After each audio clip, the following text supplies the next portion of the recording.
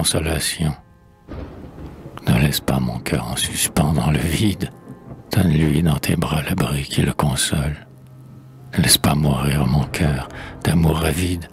Donne à boire à mon cœur le vin de ta parole.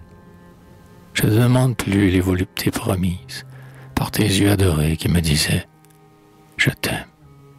Mais la calme douceur des caresses permises qui font pleurer d'amour comme un trop doux poème.